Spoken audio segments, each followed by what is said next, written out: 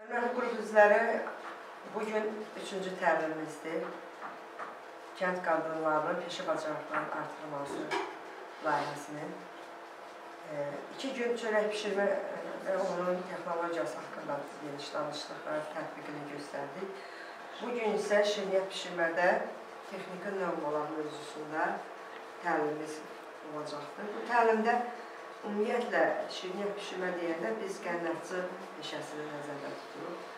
E, Qənnatçı peşəsinin e, bacarıq səviyyələrini ölçəcəyik. Hər bir e, qrupda da şirniyyatına maraqlı olan qadınlar çoxdur.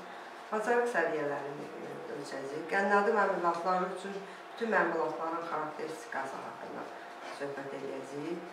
Ərzaqların düzgün seçilməsi, onlardan istifadə qaydaları, şirniyyat bişirmək üçün əsas ərzaqlar və köməkçi ərzaqlar hansılardır, onlar haqqında söhbət edirik və qrup işə aparacaq. Eyni zamanda ən əsası isə işlədiyimiz iş yerində şirniyyat bişirmə ə, evdə olsun və yaxud da ki, hər hansı bir ə, sex olsun, bu sizin bir ə, gələcək üçün seçdiyiniz bir hədəf olduğu üçün şirniyyat bişirmə biznesi iş yerinin ə, təşkili və texniki təhlükəsizlik qaydalarının istifadə haqqında geniş danışacaq. Ona görə ki, hər ə, qida ilə bağlı bütün ə, fəaliyyətlər, bütün bizneslər mütləq o texniki təhlükəsizlik qaydalarını, e, sanitar gigiyenik e, qaydalarını mütləqi bilməlidir. Nəinki bilməlidir? Hətta onun e, müddəalarını, onun qaydalarını iş yerində e, tətbiq etməli və iş yerində yazılı bir divardan asmalıdır ki, hər kəs bu gigiyenik qaydalara riayət edəsin. Bugün biz burada şirniyyat bişiririk. E, təbii ki, bu ev şəraitində bişən bir şirniyyat olacaqdır. Amma e, gəlin baxaq görək gigiyenik qaydalara, e, bütün şirniyyat bişirmədə, çörək bişirmədə lazım olan təhlükəsizlik qaydalarını nə dərəcədə gözləyə bilirik. Məqsədimiz odur ki, sizə bu sahədə peşə bacarıqlarınızı az da olsa yeni məlumatlarla, yeni biliklərindən və yeni e, təcrübələrdən az da olsa artırmış olar. İki təlimlə də nəticəsindən görürəm ki, e, az da olsa sizdən pivalınızda bu sahədə artırmaq olur. Gələcəkdə də sizə bunu daha da təkmilləşdirməyi arzulayıram. E, şirniyyat bişirmə o qədər geniş bir sahədir ki, e, onun ən sadə, yəni ki, bu, bu qismdən tutmuş, gözəl-gözəl tortların bişirilməsinə qədər böyük bir mərhələ vardır. Tortların da, ondan sonra ruletlərin, bişirilməsi, kremlərin, siropların hazırlanması, onun texnologiyası və tətbiqi e, haqqında danışacağıq. E, növbəti təlimimizdə isə, dördüncü təlimimizdə e, mütləq kremlə bağlı, kremlərin hazırlanması, onlara müxtəlif rənglərin verilməsi, bəzədilməsi kimi təlimlərimizdə də tətbiqi işlərimiz olacaqdır.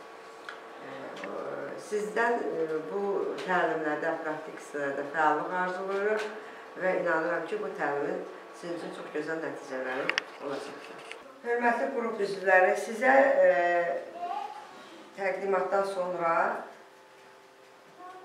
nəzər hissədən sonra sizə bir qrup işi fəaliyyəti verildik və orada mövzular şirniyyat pişirmədə əsas ərzaqların adı və istifadəsi və köməkçi ərzaqların adları və istifadəsi tapşırığı verildi və sizə 12 dəqiqə vaxt verildi. Və e, bunu iki qrupda e, bölgü aparıldı. Birinci qrup və ikinci qrup. Birinci qrupun nümayəndəsi Gülər xanım təqdimat edəcək indi ki, şirniyyat pişirmədə köməkli ərzaqlar hansılardır. Qrupumuz birinci qrup idi və bizə düşən şirniyyat pişirmədə köməkçi ərzaqları təqdim etməkdir. Biz bunun üçün birinci ilk şirniyyatlar üçün içilik lazımdır. Daha sonra qoz, fındıq, darçın, hil, sarıkök, şərbət, üzü üçün yumurta. Burada isə onların şəklini çəkmişik. Burada paxlava. Təsvir eləmişsiniz. Bəli. Mən e, çox e, qeyd elədikləriniz hamısı köməkçilər, köməkçi ərzaqlardır. Ancaq e, gəlin baxaq görün yerdən çıxan varmı? Yazılmayan varmı? Yox. Yoxdur. Siz hesab edirsiniz. Ola bilsin ki, e, yazılmayanlar var, amma bildiyimiz bunları, bildiyimiz bunlar, bildiyimiz bunlar. Çox gözəl cavab verir, bildiyimiz bunlar. Məsəl üçün, bu, e, deyək ki, paxlavadır, düzdür. Baklavanın e, Yox, baklava budur. hə, Bu nədir? Kökədir. kök. Deyək ki, paxlavanın e, içərisinə nə vurulur? Hil vurulur. Paxlavanın içərisinə hil vurulur, Hə. içliyi vurulur, üzəri üçün qoz vurulur, fındıq vurulur, vurulur, hamur üçün yağ vurulur. Onlar ə- ə- Onlar amma köməkçi əsas, olaraq. onlar əsasdır. Deyirəm yəni- Amma köməkçi olaraq üzəri üçün e, paxlavanın üzəri üçün qoz, fındıq, daha sonra üzəri üçün şərbət, yumurtanın sarısı. İstifadə yumurta? İndi ona görə deyirəm ki, hə, ona görə deyirəm ki, bu yaxşı təsvirdir. Bu fəaliyyətində ikinci qrupun işini Rəngiz xanım Həsənova təqdim edəcəkdir. Qrupda necə işlədiniz? Qrup üzvlərin fikirlərini aldınız mı? Hamının fikrini dediniz. Sizin mövzunuz nə idi? Mövzumuz şirniyyat e, e, pişirməkdə əsas ərzaq istifadə. İndi əsas ərzaqlar hansılardır? İndi qrup təqdimatını edin. Baxaq görək. Günlərə nəzərə almışsınız. E, Şirniyyat pişirmək üçün əsas ərzaqlar undur, şəkər tozudur, e, süddür, qatıqdır, yağdır. Sonra Ədviyyatlar o əlavədir. sizin mövzunuz nə idi? Bizim mövzumuz əsaslar. Əsasdır. Bura qədər əsası yazmışam. Bunlar köməkçi Bunları mötəzədə yazmışam ki, yəni ki, bilirəm. Sizin mövzunuz bura qədər. Buradan aşağısı Bunlar əlavələr. əlavələr. Bu rəsmlərdə Və Bunlardakı bu meyvələrdir. Meyvələrlə də bəzləyə bilirik. Məsələn, qorxun üstün meyvələrlə də bəzləyirik. Yəni o da əlavə köməkçi sizin birinci qrupda yazmamışsınız. Meyvələr, gülə meyvələr, çərəzlər, qozdur, badamdır, fındıqdır, fıstıqdır, çiyələr, bunlar hamısı çiyələr, Meyvə qurusudur, cemdir, Bütün bunlar hamısı e, əlavə, xəstüzdür. Yaddan çıxanlar var, indi bir daha da mən sizə e, təqdimat edeyim. Baxaq görək hansılar yadınızdan yazmamışıq, yadınızdan çıxıb. Ancaq əslində hamısını bilirsiniz.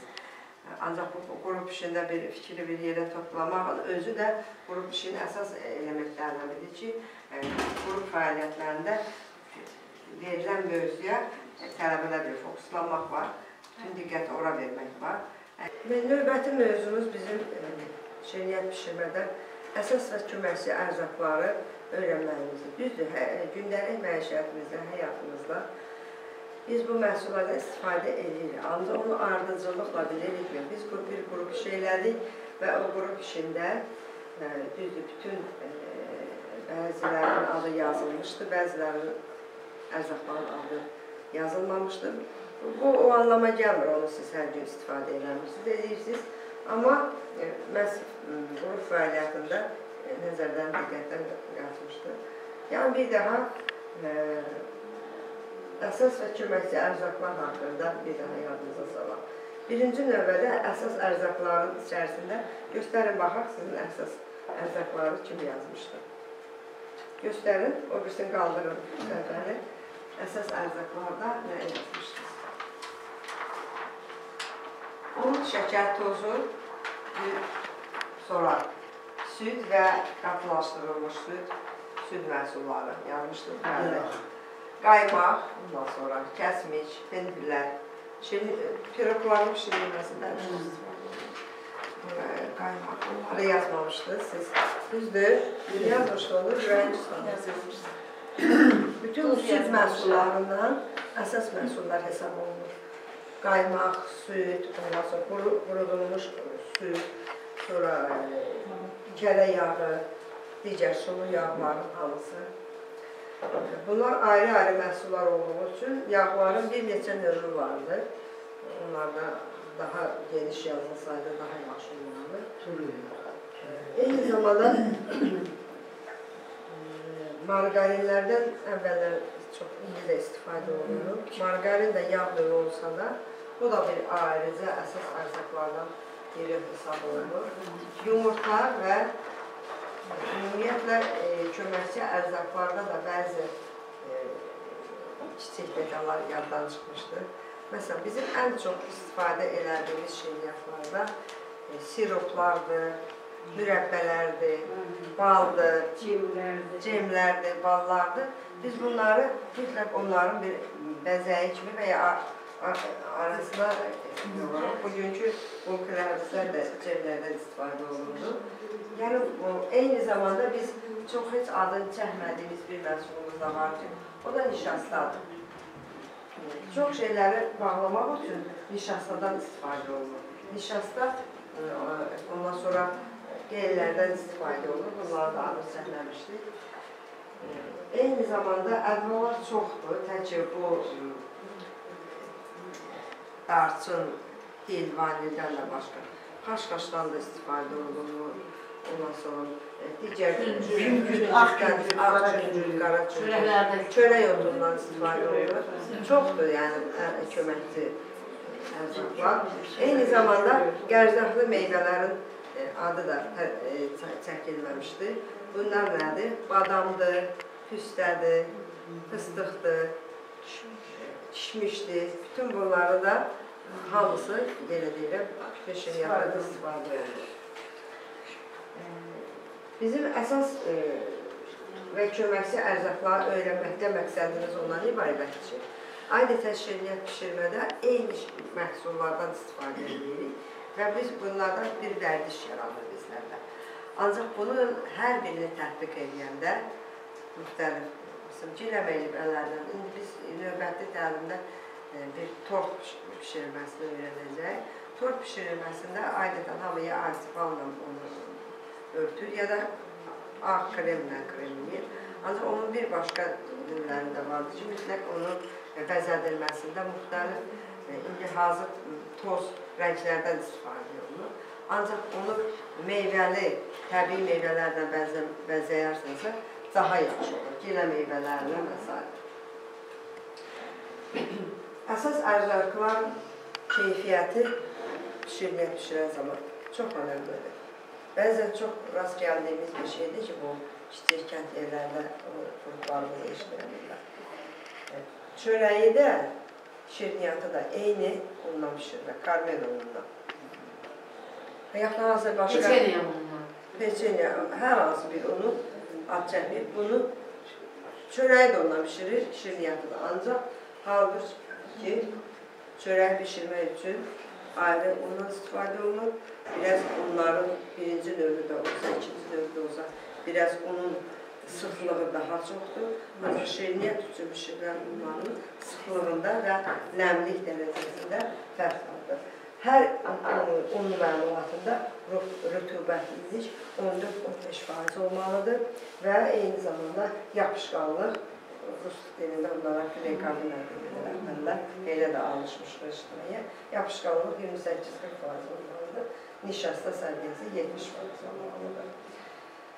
E, Bütün bunları nəzərə almaq üçün mütləq bu e, qənnatçı peşəsinin tam axıra qədər bütün modulunu, spesifikasiyasını öyrənmək lazımdır ki, hər bir məhsul üçün necə davranmaq lazımdır, onun texnologiyasını bilmək lazımdır. Ən adi istifadə elədiyimiz duz necə gəldi, duz şəklində səpilməməlidir. Baxırsan, eyni evdə e, gündəlik yemək, ana yeməklərimizi bişirəndə duzu alırsan, duzun evdə qurtarır, səhər gedir, ayrı duz alanda eyni qaşıqla atırsan, baxırsan ki, ya duzlu çıxır, ya duzsuz çıxır. Niyə? Çünki o duzun tərkibini bilmirik. Qənnatçı kimi işləyiriksə, yəni biz mütləq duzların, suyun tərkibinə diqqətlə fikir verməliyik. Suyun codluğu, məsələn, kənd yerlərində arteziyan suyu, onun heç bir stəcəndə şor suları içmək olmur. Ona görə o şor sularla da xəmir edəndə xəmirin bərkidir və xəmirin belə deyək, şişməsinə, daha da onun ə, məsafələrin olmasına.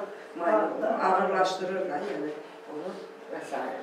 Bugün e, şirniyyat pişirmə təlimin birinci günüdür. Qrupumuzda da e, iki nəfər çox həvəslidir bu şirniyyat pişirməklə. E, və təcrübə olaraq da biz bugün bulkunu pişiririk. Artıq e, hazırdır. Hazır. Hazırdır. Eyni zamanda siz ondan əvvəl bu təlimlərin də bir çox hissəsini dinlədiniz. Mən sizə e, bir neçə dənə e, tort e, resept verəcəm. Birinci ballı tortu reseptidir. Ən çox xataya yol verilən tortlardan biridir. Onların məsamələrinin alınmasında, onların içinə vurulan balı, balın düzgün miqdarını düzgün tutması, bu tortun bəli, ölçüsünün düzgün olması. Ona görə də e, siz çox həvəsli olduğunuz üçün bu reseptləri də sizə verdik. Bir də bananlı ruletdir. E, Bu da sadə görünsə də bəli, bananın içərisində onu düzgün dərəcədə saxlamaq, bananın üçün də qoya bilərsiniz. Onu əzib də qoya bilərsiniz. Ancaq adətən bütün qoyurlar ki, o bananı kəsəndə yəni kalbasa kimi o belə kəsilsin. O, o onun dərəcəsini düz qoymadığınız təqdirdə bananlar içində əriyir. Yəni, çox e, maraqlı bir e, tort reseptləridir. E, istəyirdim ki, siz e, bugün necə keçdi sizə təlim, e, necə bişirdiniz bu e, bulkiləri, nə öyrəndiniz bu təlimdən? Siz də öz fikirlərinizi bizimlə paylaşardınız. Yani Hadi dediğim gibi özünüzü kes- təqdim edin. ben Türkan. Teşekkür ederim. Yani bugün bu ülkelerden yani kesime öğrendi, daha da yani geniş. Evet. Yani inşallah da yani hakikaten hevesimiz var ve inşallah ileride gitmeyi istiyoruz da. Yani ki daha da öğrenmeye okuldan, yani Evet. daha da aktifleşmeyi istiyoruz. E, ümumiyyətlə peşə e, təlimləri qənnətçılıq söz 6 aylıq bir, peşə təhsilidir. Ancaq e, yenə də e, bu təlimdə də çox maraqlı məlumatlar verildi. Sizin də suallarınız da maraqlı idi mənə. E, yadınızda qalan, ən, ən çox yadınızda qalan nə oldu bugünkü gündə? Yani en çok yadımızda kalan oldu ki yani siz dediğim gibi şimdiyatta yani esas kesimler önü nece pişirilmeli, yani Texnologiya. yani teknolojiye ne, nece ne kadar kararında katılmalı öğrettiniz. Hı, Yani biz səhv yolda ortaya yaxşı bir şimdiyyət çıxmır. Bəli. Burada Düzgün bir şey. Yəni texniki normalara necə riayət etmək lazımdır? Yəni bu bizim bu gün məqsədlərimizdən biri idi ki, az və ya çox səviyyədə bunu sizə çatdıra bilər. Rəmən xanım, siz nə deyə bilərsiniz? Mən də Qalaçıyalarıma, mənim üçün də bu iş təlim yaxşıdır. Yəni bil, özümüz üçün bilirik, amma daha da çox öyrənmək istəyirik, bilmək istəyirik. Yəni daha da çox yapılsın. Təlim, bugünkü təlim mövzusu şirniyyat pişirmədə texniki normalar mövzusu. Bir, bir cümlə ilə, bir sözlə ən çox yadında qalan nə oldu? Bu qrup içlərdən yarış keçirdiniz. O maraqlı oldu. Evet. Çox sağ olun, təşəkkür edirəm. Bugünkü təlimin yadda qalan hissəsi hansı oldu? Da qalan oldu ki, yağlar düz seçilməlidir. Bəli. Xəmir necə hazırlanmalıdır ki, gözəl nəticə ortaya çıxsın. Ərzaqlardan düzgün istifadə. Bəli, bəli. Hər hansı bir Hər bir. e, məmulatı bişirəcəksə, onun düzgün yağını, düzgün ununu seçmək. Hər bir unu bütün məhsullara tətbiq edin. Bir də onun ki, yəni ki, xəmiri dadında eləməsin, nə bərk, nə çox yumşaq eləməməlisən. Mənim də ən yadımda qalan mən bulkun həvəskarıyam. O bulkun hazırlanması, onun texnologiyası öyrəndim. Bir də ki, nə qədər ərzaqlar, hansı şirniyyatlara nə qədər ərzaqlar, neçə qramı, nə bilim hansı meyvə qurularından, nədən istifadə olunduğunda mən öyrəndim. O da mənim üçün bir Yeni. yenilikdir. Çox sağ olun, təşəkkür edirəm. Hörmətli xanımlar, artıq bu günləri e, Gülşən qrupu ilə, qadınları ilə biz artıq e, şirniyyat bişirmə üzrə e, təlimimizi, üçüncü təlimimizi dedik. Şirniyyat üzrə isə birinci təlimimizdir. E, şirniyyat bişirmənin texnologiyası, o texniki normalar haqqında sizinlə danışdıq. Və praktik iş olaraq istəyirik ki, bir dənə bu günləri ə, qrupun öz təşrifi ilə ə, ən çox yeyilən, ən çox qalyanaltılarımızda istifadə olunan, səhər yeməklərimizdə istifadə olunan və tez ə, başa çatan bir un məmulatını bişirir. Adı burkudur. Burkunun bişirilmə qaydasını da, texniki qaydalarını da siz söyləyəsiniz. Və bu gün bu prosesi ə, istəyirik ki, tam axıra qədər icra edəsiniz və ə, sonuçda da nəticəsini bişəndən də sonra xəmiri, xəmiri və xəmirdən də sonra ə, bişirmə ə, formasını göstərməliyik.